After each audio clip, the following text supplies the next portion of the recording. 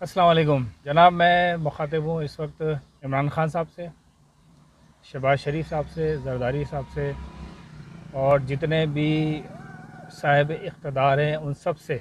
आज मैंने ये कुछ सामान लिया है। ये मैंने तेल की थैली ली है। ठीक है जी। ये मैंने कुछ बच्चों के लिए लिया है और ये एक किलो चावल। ठीक है जी। ये तीन चीज़ें कितने की होंगी आपको अंदाज़ा है?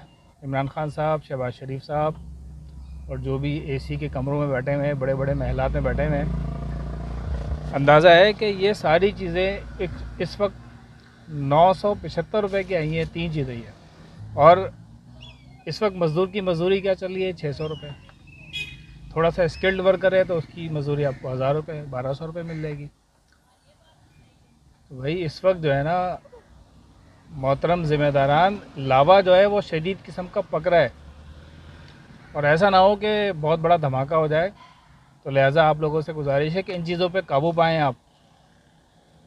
ये सारी मसनू महँगाई चल रही है पाकिस्तान के अंदर। ऐसा कुछ भी नहीं है, अल्लाह ताला ने बहुत सारी नेमतें दी हुई हैं, बहुत सारे ख़जाने हैं। बस उसको मैनेज करने की ज़रूरत है। तो रुको ज़रा, सबर करो।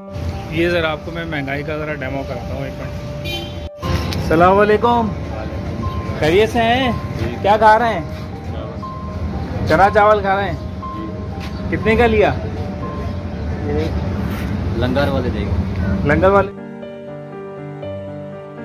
वाले दे गए? अच्छा क्या करते हैं आप? कबाड़ी का काम करते हैं। कितना कमा लेते हैं रोज़ का? कभी 200 बन जाता है कभी 300 बन जाता है। 200 300 बनाते हैं। तो क्या करते हैं? घर कैसे चलता है? भाई 200 300 में?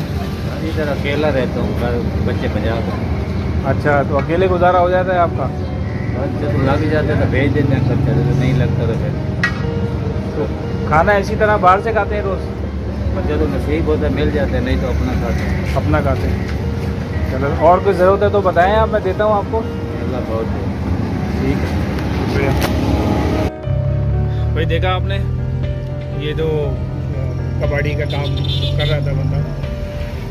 मैंने इसे पूछा, भाई तुम्हें क्या किस तरह से गुजारा होता है? तो कह रहा है, भाई, ये गाड़ी वाला आया था और ये दे गया चावल, छोले वाले।